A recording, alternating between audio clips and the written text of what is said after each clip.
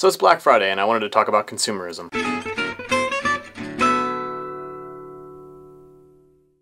Specifically, the consumerism that surrounds our children. You see, my girlfriend and I are about to have a baby in January, and people are constantly asking us what we need, what, what do we want for the baby? And we never really know how to answer that question because really, honestly, we don't need anything. The baby doesn't need toys, it doesn't need to be surrounded with material things because really, it's a brand new human being. And why should we put our own consumeristic junk on top of the child? The same theory applies to the way we feed our children. When babies are born, they have no idea what food tastes like, so why do we salt salt and sugar everything they eat. Yeah, it's bland to us and it sucks for us, but for them, it's a brand new experience. It's brilliant. Raw broccoli and raw spinach and bland chicken, it's gorgeous to them. They have no idea what salted food tastes like. And they also have no idea that the very expensive toy that you bought them is any different from the box that it came in. So why do we surround our kids with material needs so that they always just want and want and want and want more? So let's just remember on this Black Friday that little children are brand new human beings, and we should allow them to be brand new human beings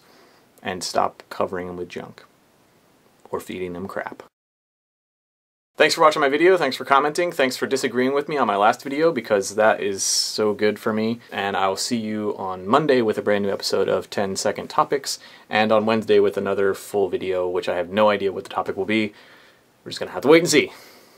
Bye bye guys. These uh, also are my other videos like always. Bye.